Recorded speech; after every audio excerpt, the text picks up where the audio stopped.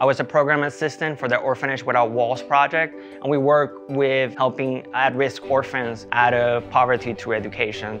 It was really empowering for me to see these people that had less opportunities than me, how hard they work to get an education, to have access to it. So once I came back to the US, I knew I couldn't I can waste my opportunities. My passion is trying to come up with solutions for how we're gonna adapt to a new changing world and something I really think about through anthropology, I was able to learn how to appreciate different people's cultures and how to implement solutions by looking at their culture.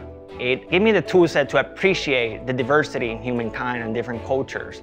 I had a lot of opportunities with hands-on learning. I actually had to go out and do data analysis, collect soil samples. I engage with uh, different students, maybe there's concept I didn't understand, or talking with fellow students, we're working on a project and trying to come up with different solutions for how we're gonna get the work done and working as a team.